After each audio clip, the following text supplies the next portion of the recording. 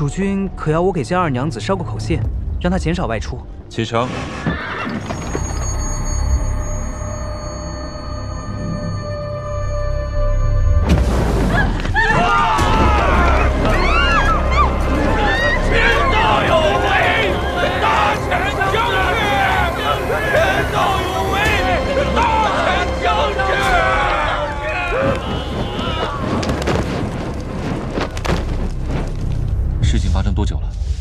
昨天晚上发生的起火的原因还有待查明。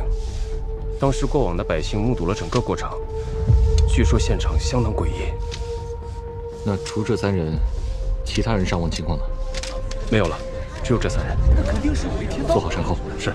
应该跟长公主被囚禁有关。据说啊，圣上是忌惮成王殿下，就找了个借口把他同胞妹妹婉宁公主给囚禁起来了。成王殿下在北境稳定边疆，击退外敌，七胞妹应该被礼待才是啊。对呀，这实非人证啊。主君，尸体仵作已经带回去了，具体情况要过段时间才能查清楚。定是有人有意为之，尽快查出真相，遏制谣言。是。有人要坐不住了。看来这京城要变天了。主君可要我给江二娘子捎个口信，让她减少外出。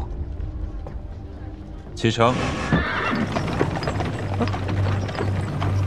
啊，你说主君这是要我去，还是不要我去啊？主君要是不让你去，早就直接让你回去领军棍了吧？对啊，估计主君现在还生着那江二娘子的气，就算心里惦记，也抹不开面子直说。唉。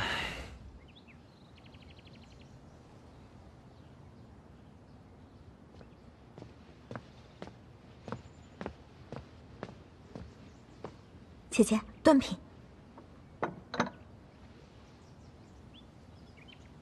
姐姐，肃国公传信来说，最近不太平，想让姐姐最好少出门。廷义这出唱完，难怪他们坐不住。不过还好，现在主君和老夫人都是向着姐姐的。先前接风宴你没回来，季舒然想要以此发难，好好贬损你，没想到主君和老夫人都为姐姐说话呢。在大殿上，长公主逼江相国要她开棺验骨，他拒绝了，并且为我挡刀。如今他应该暂时不会追究我的身份了，但我的身份在他心里已经有了嫌隙。对于季舒然来讲，如今是他对付我的好机会。不过长公主都不敢对咱们怎么样，咱不怕他们。长公主已经对我下了杀招。虽然逃过一劫，但她一定不会善罢甘休。即便如今她被禁足，恐怕她也会想尽办法置我于死地。